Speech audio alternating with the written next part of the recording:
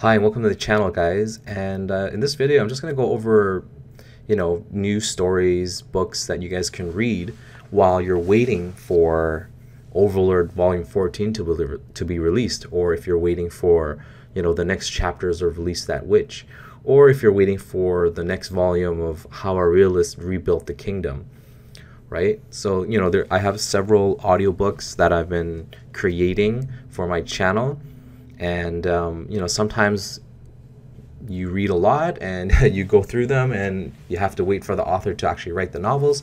So in the meantime i'm just gonna give you guys some recommendations of other types of stories that i like that are very similar to you know isekai you know fish out of water type stories where the main character is from modern times goes into the past or a group of people or you know similar type of stories where main character is kind of op or just basically fish out of water type stories. So um, also um, another uh, another genre that I really like too is the uh, you know humans fuck yeah type of story. So um, for example, there is a short story that you guys can read, and um, it's called "The Road Not Taken" by Harry Turtledove. Now I'll just give you kind of like a synopsis, like a very short summary of this short story. It's only 20 pages long, but it's basically from the viewpoint of aliens invading Earth and how, even though they're able to do space travel, their technology level is kind of like Renaissance level or medieval times level. And uh, they, they come to modern Earth and how it kind of plays out. So that's a story that I really liked. And uh, over here, another story that I really liked is the uh, 1632 stories by Eric Flint. Um, and it's in the series, the series is called Ring of Fire series. But the first book that you should read is the 1632 book. And the best summary, it's basically kind of like an alternate history type series, but also a, I guess, a fish out of water time travel type of thing. So it's modern, so a town in modern America a small town in modern America gets um, transported back in time to an alternate world in Europe, and their their I guess their town, their landmass, or what everything in the town gets transported to medieval type Europe in the middle of like Germany and I think um, those those type of places to 1632. That's the timeline. So I really like it because it's not just one character that gets transported, it's like a whole town that gets transported. And it's kind of how they have to readjust their life uh, to the olden days uh, in 16 and how much um, overpowered they are in terms of you know weaponry thinking and um, yeah, it's really interesting because it's a whole town. So there's like different type of people. Some people are like, well, we should stick together. Some people are like, oh, well, we should uh, integrate the others.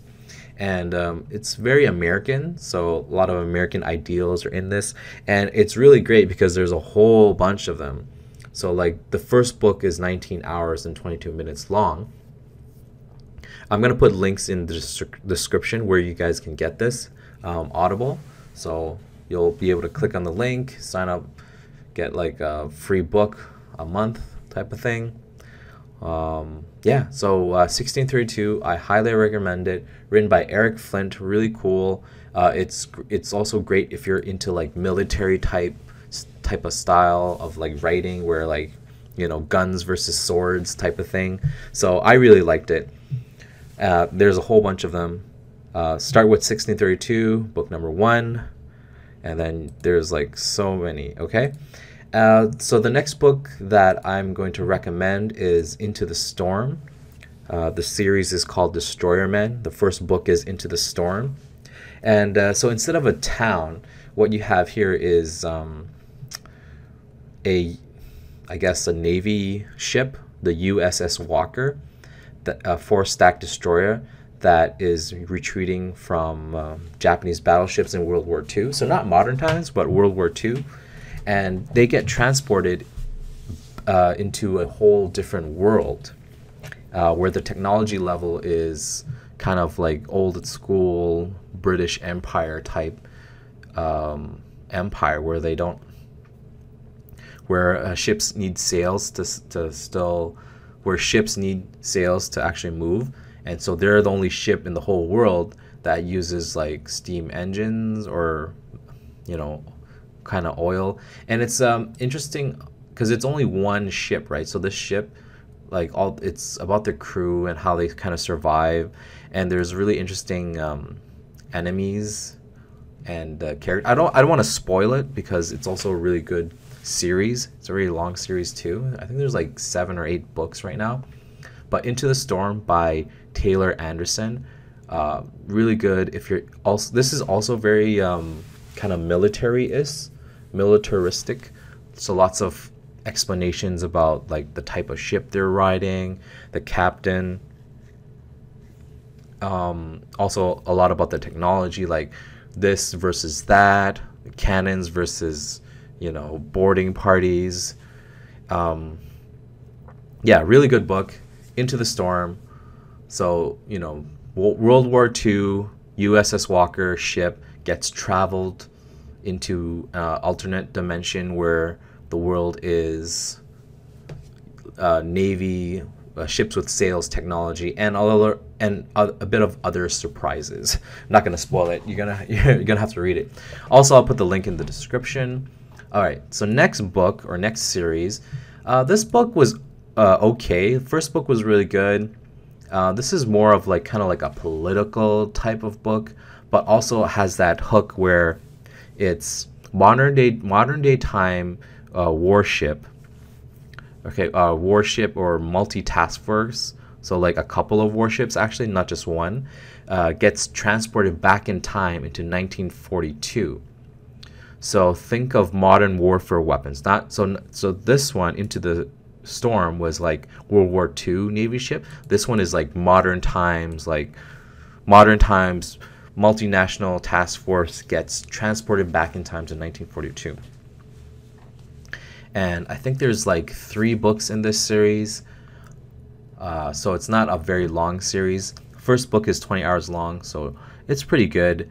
Uh, you know, I like the first book a lot because it was kind of like the setup and how like badass, like how like it. They also show like kind of like the the viewpoints of people from 1942 coming up to like this big, huge island of a ship and getting sunk, and like you know like oh you know it's like it's great when you see the main the main characters do things and it, they're they're so op overpowered and it's great uh, it's kind of like overlord in that sense but also because it's a, a novel an english novel you get a lot of the um, kind of like the the thinking behind what they're doing um, so it's very long 20 hours uh, three books pretty good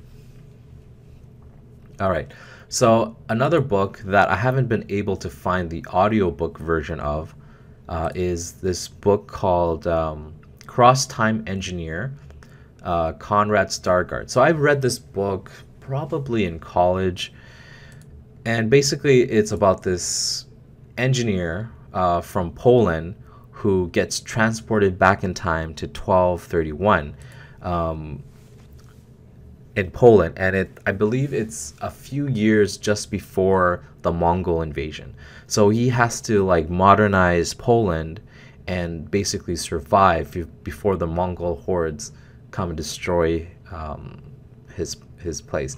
And this this reminded me a lot of a lot like um, an anime because he's the main character. He also kind of has a harem that starts to develop uh, as you go further into the books and um, yeah, it's really it's really good book because like he develops like um, I think guns. He's then then he shoots like knights and stuff. So really good. All right, next book is um, Off to Be a Wizard. So this doesn't involve any time traveling in a sense. Well, actually it does because so it in this world magic is actually just code. So if you know the right code, you can give yourself certain parameters to give yourself like magic. So the main character in Off to Be a Wizard, uh, the series is called Magic 2.0. 2.0. There's several um, books, written by Scott Meyer, is that the main character is a programmer, but he finally kind of figures out how to tweak things in reality using computer code. And uh, because of that, he's able to go back in time to a world, uh, to King Arthur's court, and become a wizard, right? When in reality, he's just a wizard who's able to, um, you know, program reality in that sense. So this is also a really good book, very light reading uh, compared to uh, 1632, where it's more serious. Um, you know, 1632 is very serious. Into the Storm is also serious. Weapons of Choice is also serious. This is more uh, Cross Time Engineer is more of a light type of series, very light. Uh, Off to be a Wizard, I would also consider very light. Also, they're uh, very light compared to like the other series that I talked about.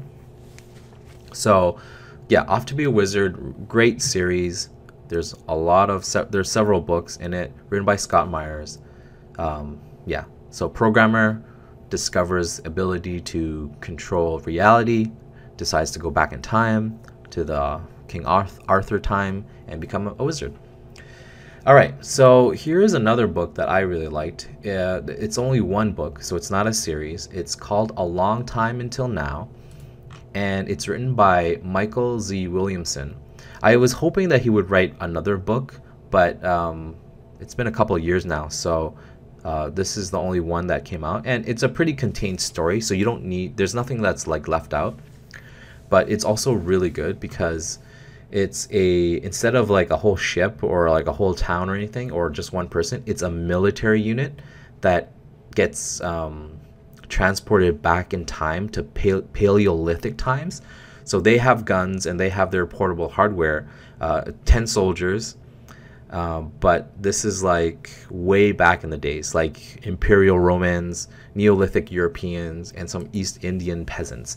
And they have their technological advantage and 10 people, but they don't know how to get home. Um, I'm not going to spoil it, but it's also really good if you're into like the whole time travel, modern modern military type thing versus like old school old school units. Uh, I really like this book. Wish uh, he wrote more in the series related, but it's also a contained story. Also really good.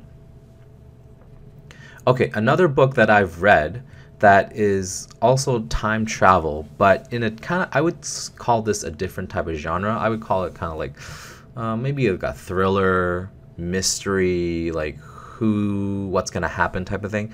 So it's a guy who is able to time travel through like a closet back to November 22nd, 63, I believe. And basically, he's, he tries to stop the assassination of uh, who was it? Some American president, JFK. Sorry, my American friends. But uh, yeah, so he goes back in time and he tries to stop the JFK shooting. And um, I really liked it because the descriptions of the old time American lifestyle. So this is more of like so the time travel isn't kind of the focus. It's more of the focus of the main character going back in time and living life in the olden times. And Stephen King is really good at kind of very descriptive things when he talks about like the olden American times. And um, yeah, one thing that I I was surprised when I read this this book was that you know it had its mystery thriller, but it also had kind of like a slice of life feel to it. So when you read it, you'll you'll kind of understand what I mean by when I say slice of life um, feeling to it. So this was also a very good book. All right. So here's another book that is also kind of like, you know, modern day time guy getting sent to a different world. So this is called Cast Under an Alien Sun. I haven't read this book yet, but people I've known are saying that it's really good. And the series is Destiny's Crucible. Uh, Cast Under an Alien Sun is the first book. You can also get it on Audible. And um, this is basically about a guy who's like a chemistry major, right? And he somehow gets transported on a beach naked uh, with uh, on an Earth, a similar Earth, not Earth exactly, but a similar Earth with the level of technology of 1700s. So he awakes, and it's his journey of how he becomes relevant in that world and how he survives. And my friends are saying that it's really good. I haven't had a chance to read it yet, but it's on my list to read or listen to in the future. Okay, so that's enough of books. uh, let's talk about some uh, dramas, things you could watch. So there's this drama, a Japanese drama uh, that was released in 2009.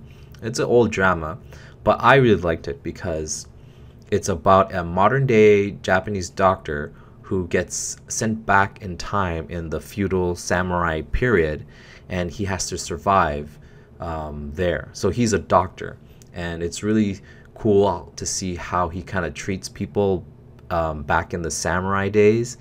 And there's two um, two seasons. There's uh, so season one and then season two. So this is the Japanese version. There's also a Korean version. Uh, the Korean version wasn't as good as the Japanese version, so I recommend uh, if you're gonna watch anything, watch the Jin 2009 Japanese version. Okay, um, so that so uh, the feeling of Jin is more very slice of life. The cinematography of this drama was, very good, um, and if you haven't watched any Japanese dramas, um, I would tell you that the Japanese drama is very well. This this one specifically is very beautiful. Like just the way they shot it, the music, everything has kind of like a sense of like nostalgia in a sense. It's it's weird, but it's not very like action oriented in that sense. It's more of like, okay, how is this guy gonna deal with never being able to see his family and friends again, and the relationships that he makes in the olden days in the samurai times. Okay. All right. So the next one, the next drama is more of a romantic kind of drama. So it's about this guy uh, here who travels into the future. So he he's from the past and he travels 300 years into the future, and it's about how he has to deal with things and how he has survive he has to survive. And um, as you can tell, he gets romantically involved with this girl, and it, it's it's about their relationship. Um, oh, and by the way, you can watch dramas Jin probably on myasiantv.se. I'll put a link in the description. Um, it's an old drama, so you might have to do some searching. Uh, you can watch watch Queen Queen In-hyun's Man, I think on Netflix, but I'm not sure if it's on Netflix. If it's not, you can you can check out myasiantv.se also in the link in the description. Um, all right, so another drama that you can watch that is similar to Jin, but it's Korean, is uh, Live Up to Your Name.